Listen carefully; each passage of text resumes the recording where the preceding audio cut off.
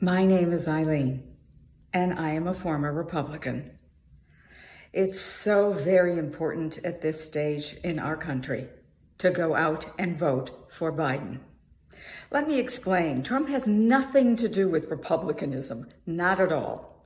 We were the intellectual, responsible party, fiscally responsible. He brags about the economy. Even when the economy was booming, he created an enormous deficit to give his wealthy friends a huge tax break who don't need that money. What are they going to buy? Their 10th Ferrari?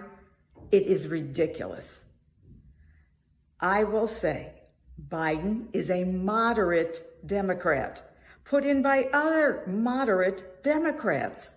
If the left was in power, Bernie Sanders would have won. They're not in power.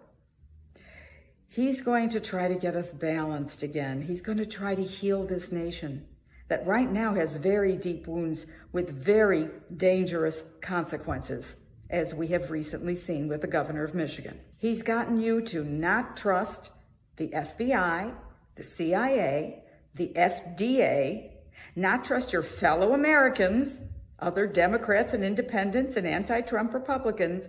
The whole world is against you. The only one you can trust is Trump.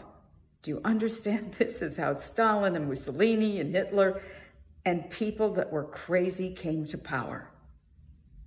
Let's get sane. Let's be fiscally responsible again. And let's vote for Biden. We need to heal our nation and quickly.